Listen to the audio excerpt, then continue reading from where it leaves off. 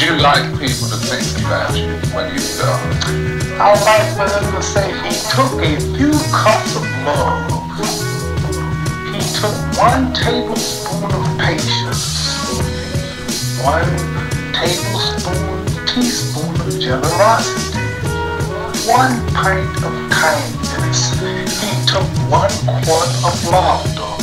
One pinch of concern.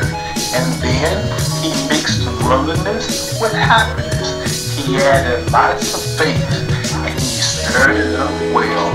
Then he spread it over a span of a lifetime and he served it to each and every deserving person he met.